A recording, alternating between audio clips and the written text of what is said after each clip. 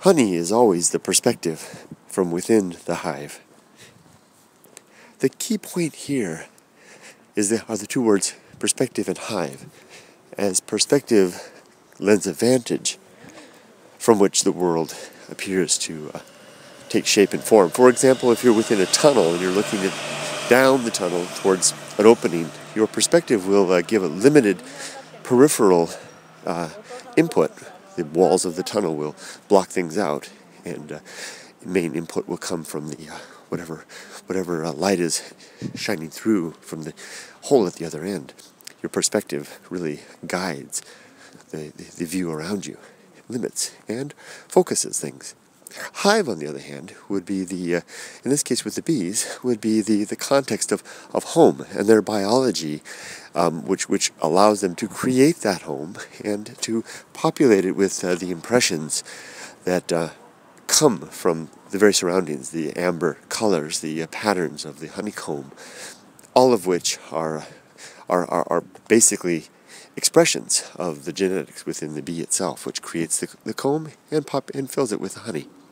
and gives it all that color. And then they, and of course, the senses of the bee, which do not see it, the, the honeycomb as we do. They, they see that they will indeed see and perceive and have a, a brain that is capable of processing the input differently. Nevertheless, the perspective uh, is their own and gives them gives them the, the world that they, they inhabit when they are within the hive. Now, why am I stating this? These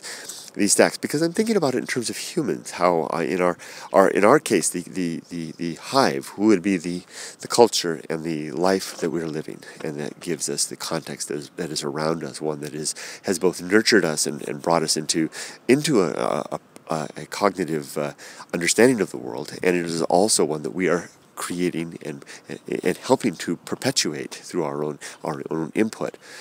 that we have human beings existing within the hive. The perspective then is, of course, being within that culture and seeing it as a member of that culture. And when you are in that particular case, it is, appears to be sometimes all encompassing and it appears to be quite uh, overwhelming. And the, the, the mandates, the, uh, the, the, the sense of right and wrong that exist within that culture will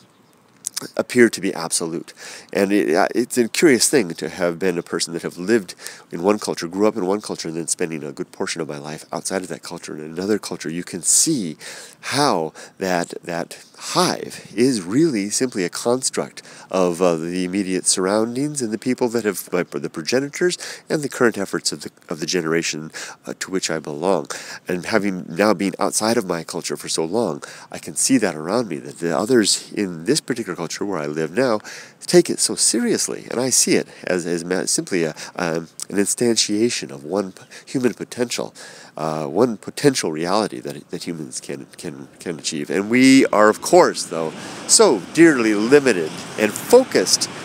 so dearly so, by the biology of which we are formed.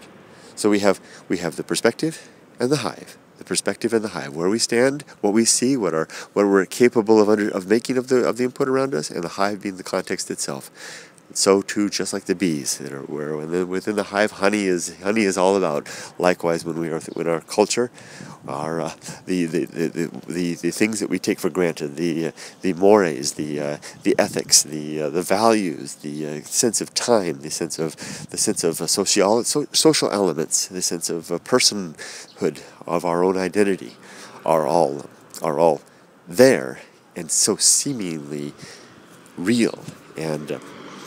all encompassing. When in fact they're just another another another version